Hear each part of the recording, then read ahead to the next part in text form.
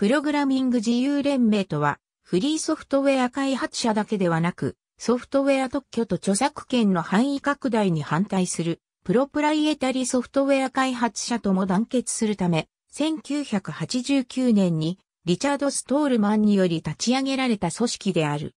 当連盟のロゴは、フロッピーディスクとテープスプールを抱える自由の女神像を模している。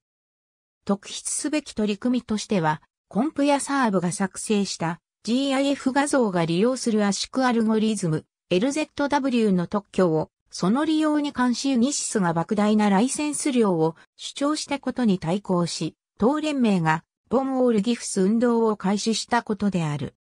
同団体は、プログラミングフリーダムと呼ばれる解放を1991年から1995年まで11回発行しており、同時期の同団体の活動を記録する一時資料となっている。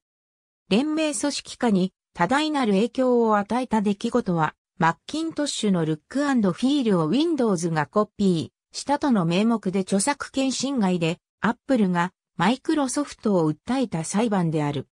裁判終結後、連盟は休眠状態になったが、ソフトウェア特許に関する問題が増加したことにより、近年復活した。2009年9月、LPF 代表ディーン・アンダーソンは元会員たちに次のアナウンスを出した。LPF への復帰、会員資格の復活、そして2010年5月12日に選挙を行う計画についてであった。ありがとうございます。